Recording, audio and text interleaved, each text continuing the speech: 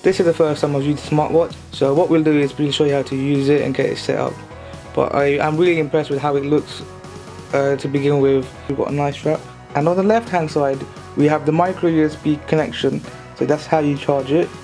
On the right hand side, you have the power on button. So there we have switched on. You just need to hold the power button for a few seconds. You press this button and it unlocks the screen. Okay, what we'll do is connect the Bluetooth smartwatch to my phone. So we come up with the OnePlus One. So it's click. So we're pairing with the OnePlus One, which is my phone. And then obviously you authorize it with your on your phone as well if you need to. And so you can't be connected to more than one at the same time. So what I'll do is disconnect from my iMac.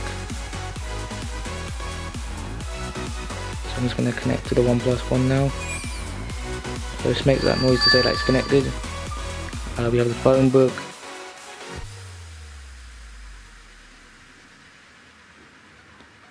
so just loading now.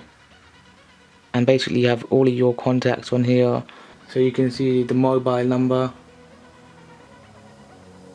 And you can even call the person as well.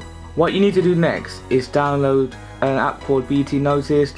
And then from there what you need to do is access your settings accessibility settings. And from there you'll be able to manage a lot more features. So let's have a look at some of the features that it has if you press this button here this is for the menu. You can then press this button here middle button to scroll through it or you can just scroll through like that. So here you have sort of like a reminder system. You can set it here. And then if you go back to the menu we've got messaging. We've got the phone book. You can call someone. Uh, we've got the call list. You can change the music from here. So you can play a song here. Um, adjust the volume and change the song We've also got the camera app here so there you can see where my camera is. Moving on you have the power saving options, you've got tools such as a calendar, alarm and calculator. You've got other settings such as the sound, you've got language options as well. So you have these apps that you can remind yourself to drink. You've got pedometer,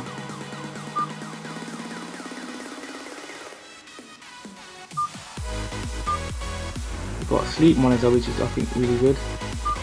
Overall I think it's really, really good because you get a lot of features and for the price you can't really go wrong. It doesn't feel like it's something cheap. I actually really enjoy the quality. The buttons are really good also. So yeah it's a great product and I really recommend it to everyone